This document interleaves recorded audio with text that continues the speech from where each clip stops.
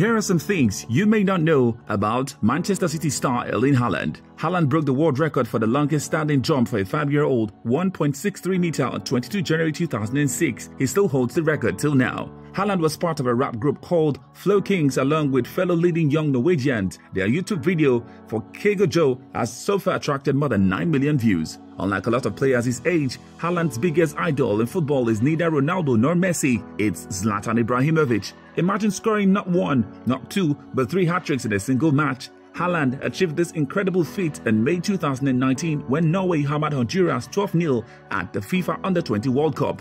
Haaland's favorite song of all time is Champions League anthem. And we've all heard of Erling Haaland, but did you know that Haaland's mother, Gry Marita, used to be a national champion in heptathlon?